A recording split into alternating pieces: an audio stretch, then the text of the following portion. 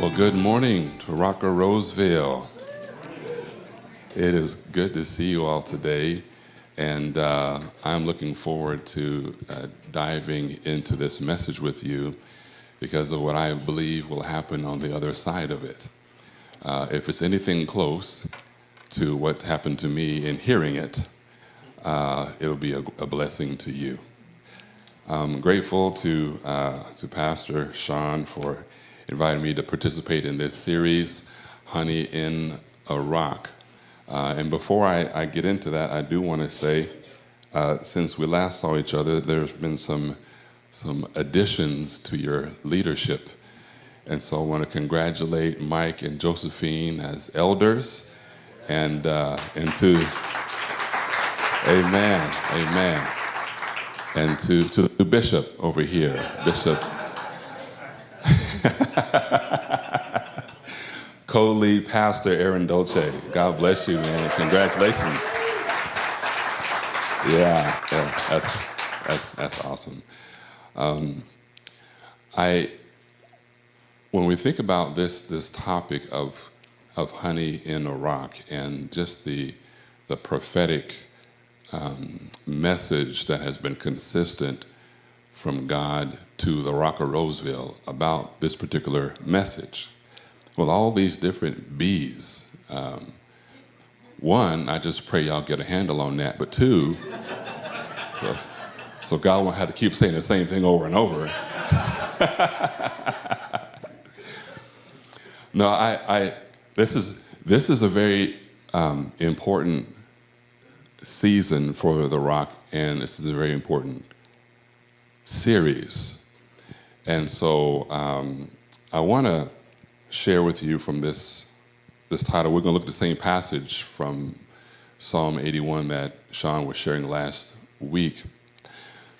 One of the things that I, um, I, I've noticed in relationships with people, specifically with God, is how important communication is. How important communication is. And so many times communication breaks down and can be frustrating when you're trying to share a thought or idea with someone and just to realize that they were not listening to you. Have you ever asked, Are you listening to me?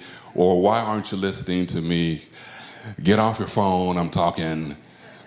You know, whatever it is. It can be really frustrating when people are not listening to you because it feels devaluing, it can feel disrespectful, it can feel that they are minimizing the significance and importance of not just what you have to say, but you. Like you can take it personal.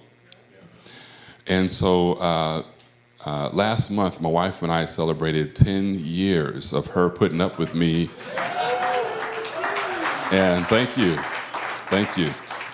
And I can, I can assure you, it's been a 10 year lesson on how to listen how to listen. I've gotten better at listening, you know, like, like for real, listening, not just like looking. Right? Not just the, oh yeah, yeah, baby, yeah, uh, yeah. Not just the nodding, but actual listening. And I'm gonna tell you right now, if you're if you're new, uh, newly married, like that's a marriage hack. If you just learn how to listen. But not just in marriages, so whether you're single or married or not, listening is important to all relationships, especially our relationship with God. You know, if if I'm driving with my wife and she has some insight on some directions, but I feel this moment of sovereignty, like I for whatever lame, illogical reason, know better. And we end up taking a wrong turn. You know, to me, it's not necessarily a wrong turn. It's just, uh, it's just a longer enjoyment of the adventure to our destination. Everything I do is intentional. You gotta understand, it's all intentional. It might look like I'm lost, not lost. I am enjoying. So in those situations, if I'm not listening to someone who might know better than me, it could delay their journey a few extra minutes. But if in our relationship with God, we're not listening to what he is saying. You can ask the Israelites. It could delay the journey for decades. There is a higher cost in not listening to God than there is in just not listening to a family member, a spouse, even a child or a friend. And sometimes, if you have your spiritual senses really tuned, you'll hear God speaking through some of those people in your in your home. Um, I remember when we were, uh, well, I don't know why people say we were pregnant because only one person was pregnant. Um, I remember when my wife was pregnant uh, the third time, uh, we the, the, doctors had said that we are expecting her the birth to be around the end of April. So we are planning for the end of April, and we had, even though we did both home visits and doctors, we mainly were going to use our our midwife, and so who lives about an hour away, and so um, and so we had you know planned this whole plan, our birthing plan. Janine's mom, who lives about five hours away, was going to come and make sure that the kids are, over, are taken care of so that uh, uh, we would have some privacy and things like that. So we had this plan, uh, this estimated date near the end of April. Well, around the beginning of April, uh, around, I think April 4th, I'm changing my now five year old, but then two year old I'm changing my two year old's diaper, and uh, which is always an experience. But I'm, um, as I'm changing her, her diaper, on, May the May the fourth, May the I mean April the fourth, April the third, she says, "Baby, come out! Baby, come out!" Now I don't know about your two year olds. That's not something I expect to come out of the mouth of my two year old. But even though it was a two year old saying the message in my spirit, I heard the Lord say, It ain't the end of April. so I told Janine, I said, Hey, babe, it ain't, ain't we, this is baby come out. baby coming, this baby coming out. Like Sydney just said, baby's coming out. We, so I felt an urgency, a quickening in my spirit. We need to prepare a little, little earlier. So instead of the end of April, it was April 7th. Right?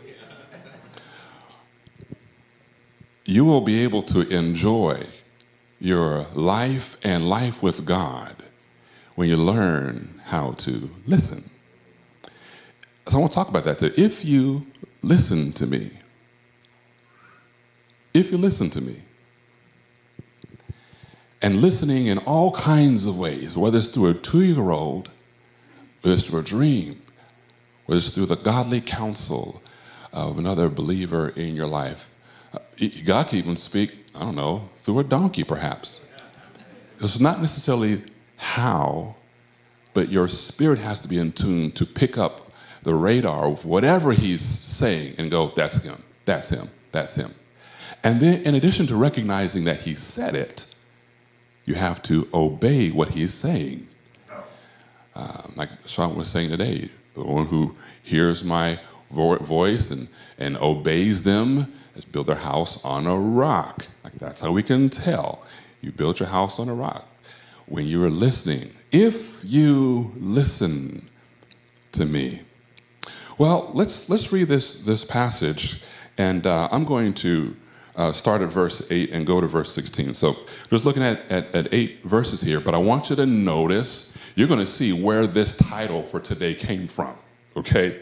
Let's dive in. Verse 8. Listen to me. Now, so far, have you recognized anything?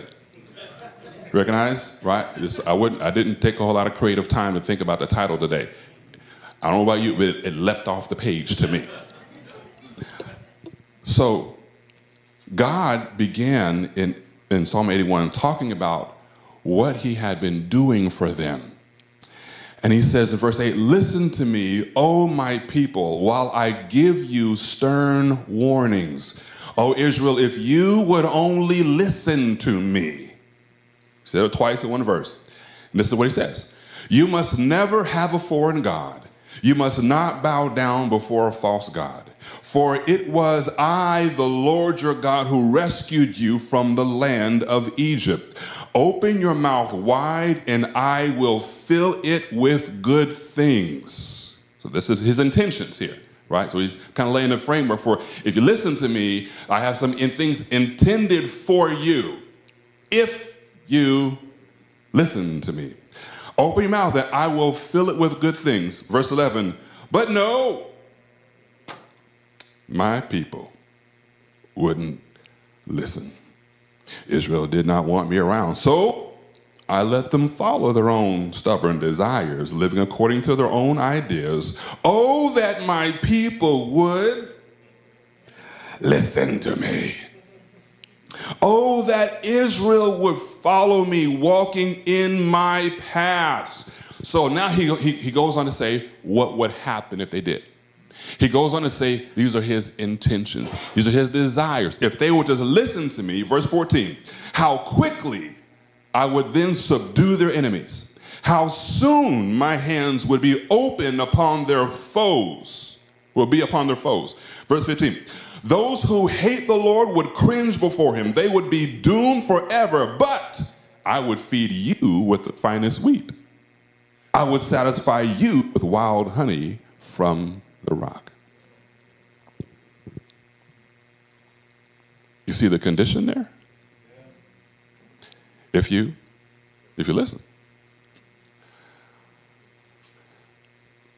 This is my plan. If you listen, this is my intentions towards you, but you got to listen. And the reason why is, is there's, there's two ways. I'm, I'm going to say this, the same phrase, I'm going to say it differently, emphasizing different words of the phrase. If you listen to me, listen. And if you listen to me, not everything else. Clearly, he was talking about earlier don't bow to any false gods, listen to me. So, there's two ways we could talk about this emphasis on listening, like listen, and then to me. Why? Because of my desires towards you, because of my intentions towards you. There are things I want for you that you will not get if you don't listen to me, which means that the only way you walk into them, the only way that you discover them, the only way that you release them is by walking in alignment with what I'm telling you. If you listen to me, I will give you the best of the wheat and honey from a rock. If you listen to me. Now that means, me say something. I don't always step into this element, but I will today.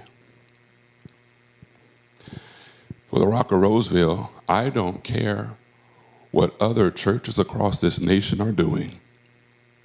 I don't care what is trending in the church space in America or what's trending in America. You only pay attention to what is trending from heaven. I don't care what other churches are focusing on. You pray and seek the face of God and listen to what God is telling the rock of Roseville. Listen, things are going to get much more crazier. Things are going to get much more dark. And the way that the people of God will not just survive, but thrive in the midst of it is if you listen to me.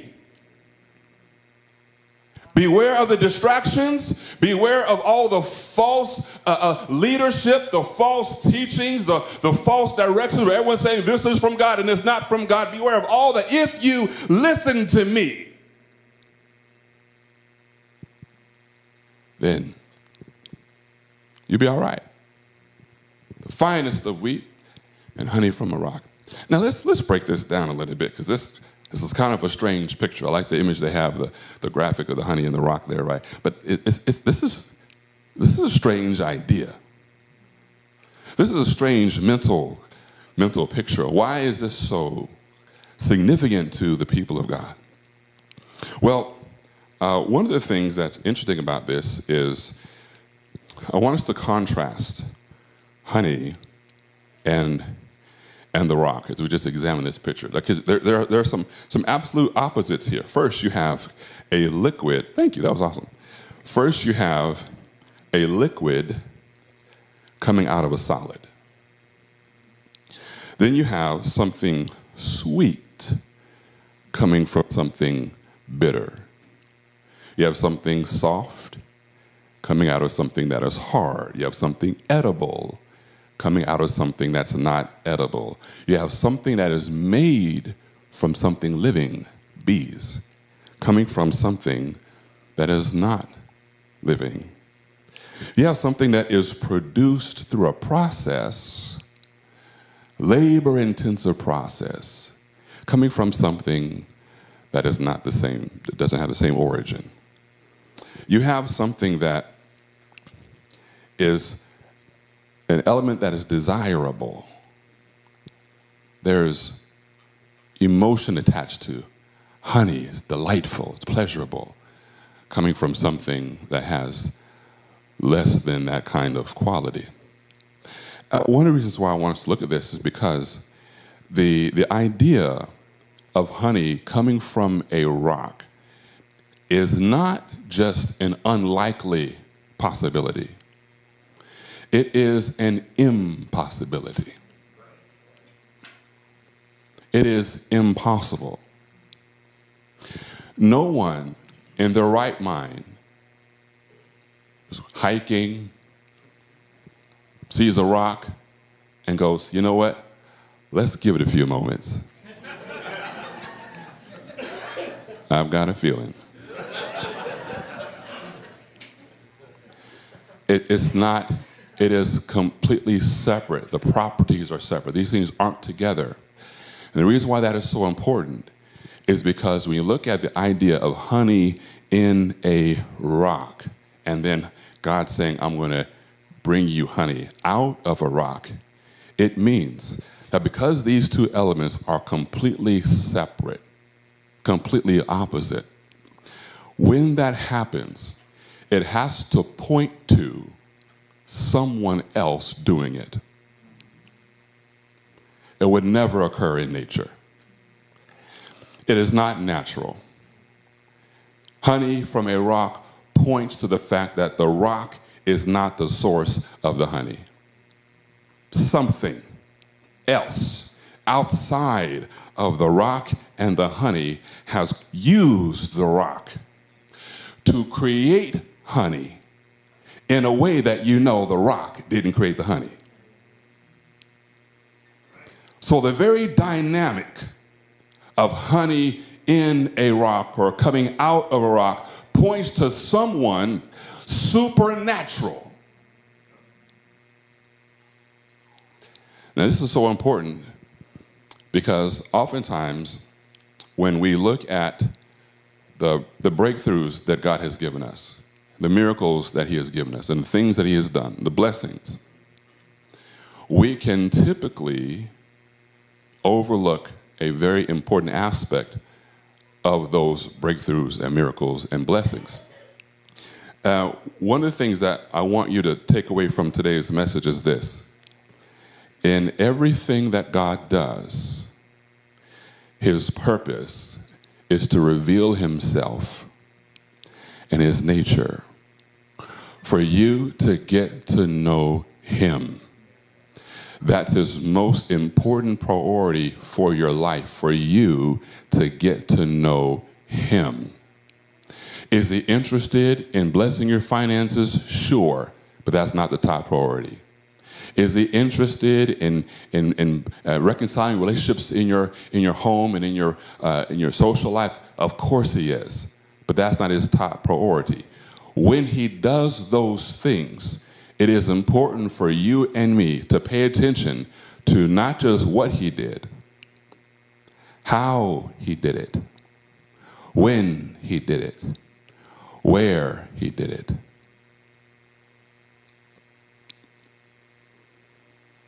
Because here's what ends up happening we can start to see God as just a blessing machine. People can view God as if he is some cosmic butler that when you have a particular need, you go to him and he just he gives you what you what you want. And that's not him. He is a father who has a relationship with his children that he created through the life, death, and resurrection of Jesus Christ. I mean, think about Uh, the cross and what that really means. Why was that so necessary? Because that's the only thing possible for you and me to have our sins completely forgiven so that we could be children of God.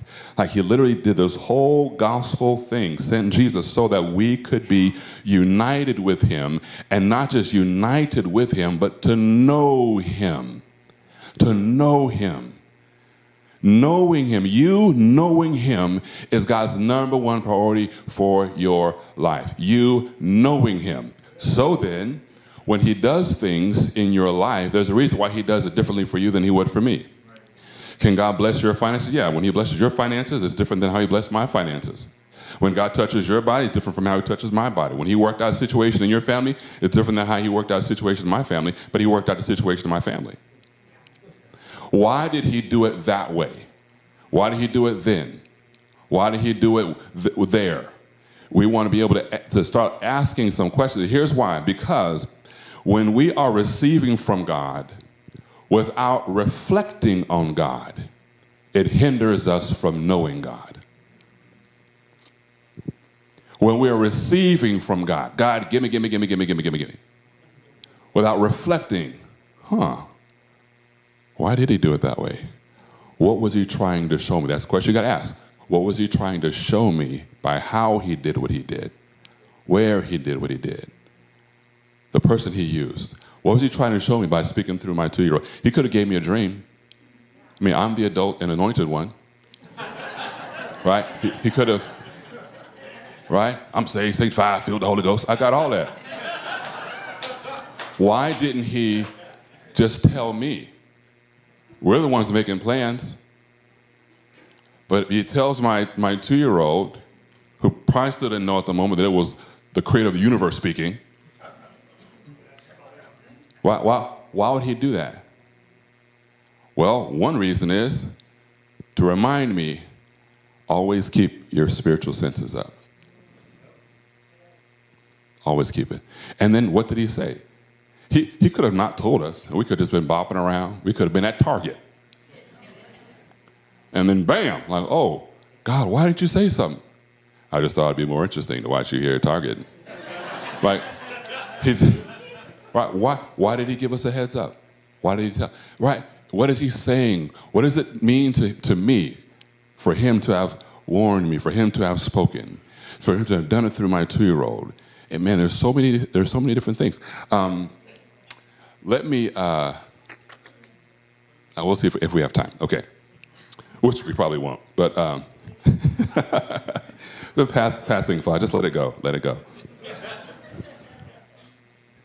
So when you think about the miracles that God has done in your own life, the breakthroughs, the answered prayer, just think about them. What was he trying to show you? What was he trying to say to you? What was he revealing to you about himself. If we are receiving from God without reflecting on God, it will hinder us from knowing him and it'll just keep us using him. He'll still bless you because he's good. People take advantage of God all the time. But he's determined not to be changed by it because he's perfect. His love is perfect. His compassion is perfect. His mercy is, is perfect. And so if people want to just use God for, for blessings, God will still be a blessing to people because he loves them, whether they love him back or not. He loves them, whether they accept him or not, whether they reject him or not. He loves them. Now, there's a difference in being in Christ and, and having a relationship with, with him as, as, as Father. But he, he has been a blessing to people all across the world who don't even know him, don't even acknowledge him. Because he's good. But when it comes to those in relationship, he's like, listen, there are some things I want to do for you, some things I want you to see and experience. But you'll get there if you listen to me. If you listen to me. So when he talks about this honey coming from a rock, it's like, why? Why would you do it that way? It absolutely points to me. There's no other explanation. You, you, can't, you can't take credit for that. You can't be like, yeah, I, I, I was working on that for quite a while. right? They taught me this in school. I went to a workshop and they had a honey from rock workshop. You can't take credit for it. So this honey in a rock reveals the nature of God when he does things the way that he does them. So always when he answers your prayer, take some time. Don't just grab the blessing and run. Take some time to sit and go, huh, why did you do it that way? What do you want me to learn? Right? This is why, when people don't do this, this is why people can get blessed and blessed and blessed and blessed and still don't know God. You ever seen that? I mean, you, you probably encountered some people, their lives are raggedy, but then you, when you talk to them, like, do you know God? Oh, yeah, God's been good to me. What? How, how can you have this whole archive of God being good to you and you're still not living for Him? You still don't, because they can just take it and run. But when you learn about God through this thing, that matures you, that fuels your, your faith. Think about how the story of David and Goliath would have been different. When David is facing Goliath, the, the rationale he gives is the same God who delivered me from the lion and the bear will also deliver me from Goliath. He wasn't like, Goliath, oh man, I was born for this, right? I'm 2 and 0. Right, I'm 2 and 0. I got this. Like Goliath don't even know what's about to happen. Huh? Give, give, me my, give me my sling.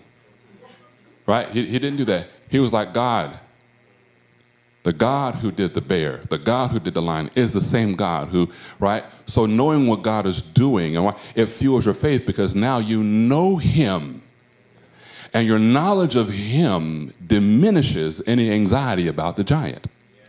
Matter of fact, you don't even see a giant. David didn't see a giant. He goes, man, he didn't say, man, that is big. He goes, this uncircumcised Philistine, this dude who is out of covenant with God, he picked the wrong day to talk noise. Not today, right? He just, David, the only giant David saw was God. That's what happens when you take time to reflect on God when you receive from God right? Was killing the bear. He killed it, man. He sit down. Whew. Man, I, know I didn't do that. Like, what? Man, God's got my back for real. This bear could have took me out.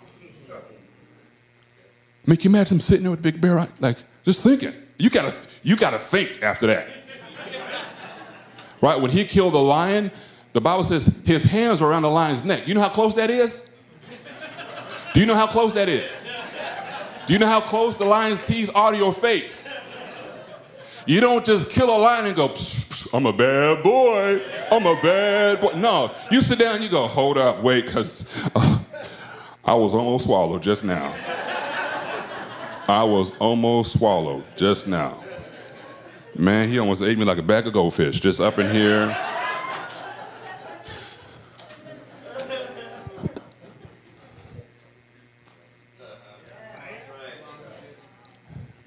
See Dave wiping tears. Lion carcass right there. Like, man, there's no way. There's no way. He's reflecting on the on who God is by what he just received. It helps him know him. And it's the knowledge of God that Goliath was up against. And that's why Goliath didn't stand a chance. But that's a sermon for a whole nother day. And so this is why it's important to reflect. And so as I was looking at this whole honey thing, I mean, the honey in rock is is unique because honey represents something unique to people then that it didn't necessarily represent to us today. Like honey today, I put honey in my tea. Uh, you know, if my if my throat's sore, I put, you know. But they, it, it meant something different to ancient Israel. Um, for them, obviously, there was some nutritional value of the honey uh, sometimes they use it for some medicinal purposes and obviously as a sweetener and things like that. But there was also some symbolism for them. That honey represented something joyful and delightful. Uh, one, one verse says that, talking about the word of God, your, your word is like honey to my lips, right? I enjoy reading it and learning it and speaking it. It brings me joy and pleasure. It's delightful. There's a, the, the metaphorical uh, meaning of, of honey. But honey also represented bountifulness and abundance and fruitfulness. And so that's why, uh, for example, when God was telling uh, the Israelites as they're heading towards the promised land, He says, I'm going to take you to a land flowing with milk and honey.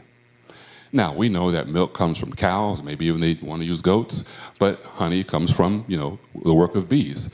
What God was not enticing the Israelites saying, man, if y'all come through that desert, psh, I got this land full of cows and bees. You are going to love it. You're going to love it. it. Cows everywhere, right? All over the place. You are going to love it.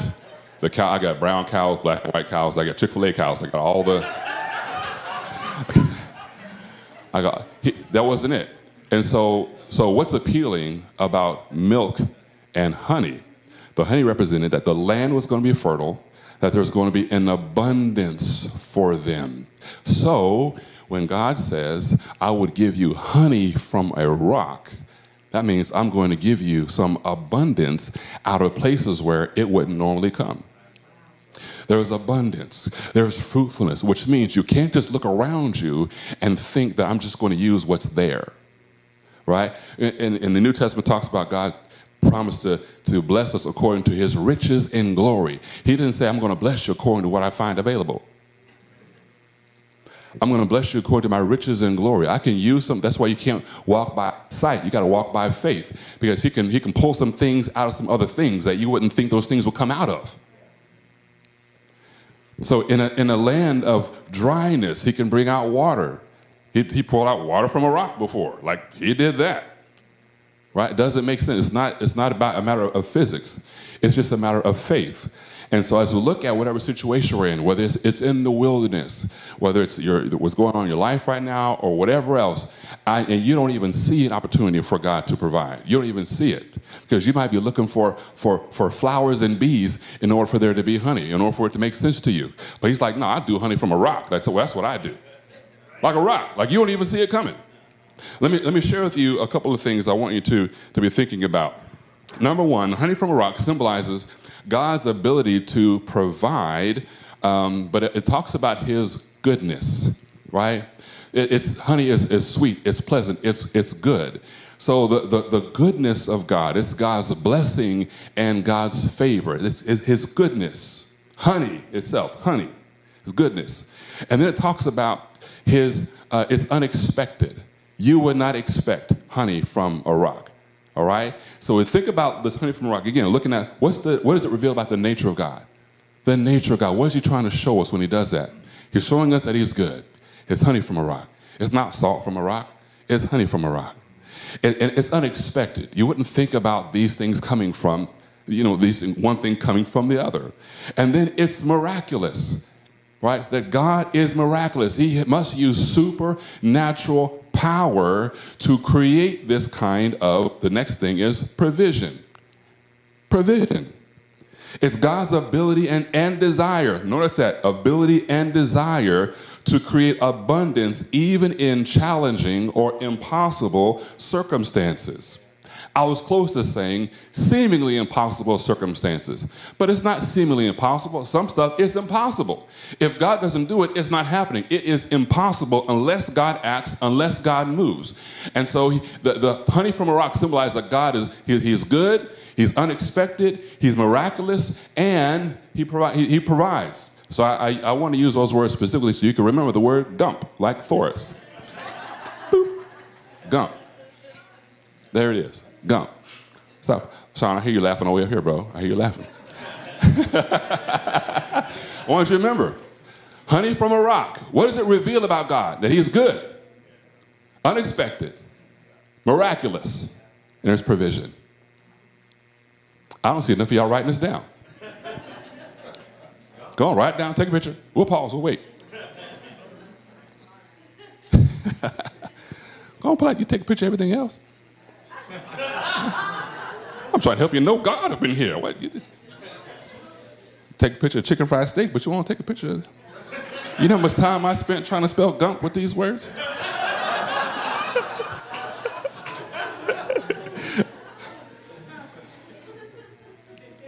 that's what he's, that's what he's showing. Let's go back to this. Let's look at this. Let's wrap this the message up here. Verse 11.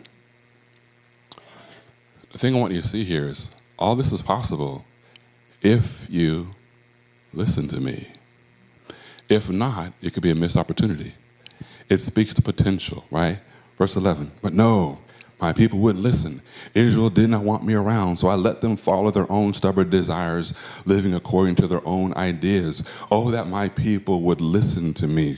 Oh, that Israel would follow me, walking in my paths how quickly I would then subdue their enemies, how soon my hands would be upon their foes. Those who hate the Lord would cringe before him, they would be doomed forever. But I would feed you with the finest wheat, I would satisfy you with wild honey from the rock. As believers, you and I are called to be led by his spirit. Listening to him is one of the things that we do right? Jesus said, My sheep know my voice. In Matthew 4, verse 4, when Satan is trying to tempt Jesus, Jesus said, Nope, man shall not live by bread alone, but by the words that come out of the mouth of God, the spoken word. You and I, we, we, we have been in, in uh, a special software has been installed in us for us to be able to hear, recognize the voice of God, to recognize that He is speaking to us and then our own faith that leads, lead, leads us to lean in to what he's doing. We, we have to be led by him our education, our, our life experience, and, and the people we know in our social network, that's not enough that's going to get us to where we will discover the honey in a rock, where it will come out. We must listen to what he's saying. We're called to live our whole lives by this. Paul put it this way in Romans 8 14 For all who are led by the Spirit of God are the children of God. The actual Greek word there is mature children of God. It takes some maturity to learn how to be led by His Spirit. So I'll say this, and then we'll we'll close. And I want us to um, get ready to, to, to cue up the, the song we want to end with today as we transition to, to communion. Uh, here's a little formula for you our obedience plus God's faithfulness equals supernatural provision. That's it. Our obedience plus God's faithfulness equals supernatural provision every time. Every time. The honey in the rock is supernatural. Right? It's good, unexpected, miraculous, and it's provided for us if we listen. I uh, th- there was a time where I was um, going from San Francisco, coming back to Roseville, I was visiting a client, and as I leave, uh, I'm away from San Francisco to Roseville, um, there was a couple of Chick-fil-A's in Fairfield and Vacaville. And so I normally go to the one in Fairfield because I can just pop off off of 80, go through the line, get back on, and keep on going. So one particular day, I was coming and I actually took the exit. And just a random thought, go to the one in Vacaville. Like, huh, okay. Now, in this season of my life, as I'm, I don't have like a, a, a, nine to five, and so the way that God's providing is through contracts, through my business, and things like that. And so, um, we're at this time specifically looking, man, we need some more. We need some more contracts, God. Where are you wanting to to gump me?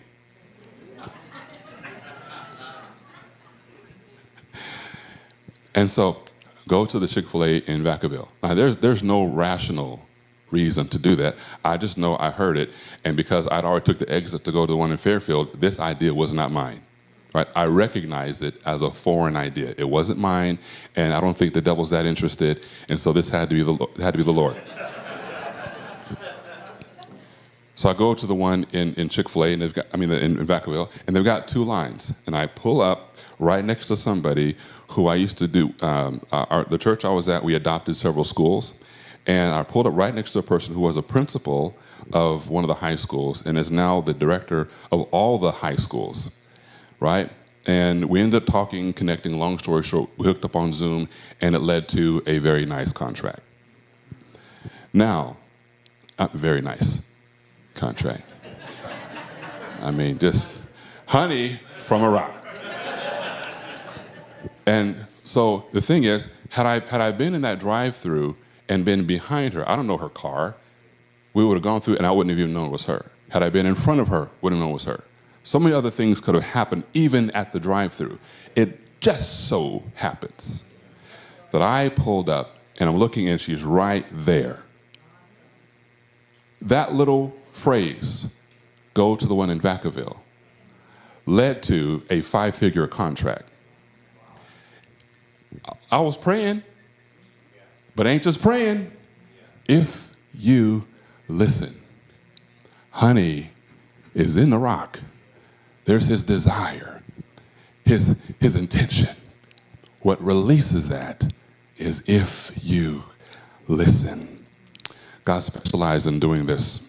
Not just honey and rock here, but I mentioned in the one situation with Moses, he brought water out of a rock as he was leading the people of Israel through the wilderness. He had quail fall out of the sky, um, not because they were flying, got tired. Like he was providing the quail just for them, a whole nation of people, just quail, boom, right? And then manna, bread that he provided just out of nowhere. They'd wake up in the morning and, and psh, bam, there it was, star bread, just right there on the ground, you know? And so it was just there. So there's a song I want to I want to share with you. The song is called "Honey in the Rock," and it talks about there's honey in the rock, there's water in the stone, there's manna on the ground. No matter where I go, I don't need to worry now that I know everything I need. You've got. There's honey in the rock. So I want our ushers to come forward, and as they as this song plays, they're going to be passing out communion. And as the song ends, then we'll do communion together, and then we'll we'll dismiss for today.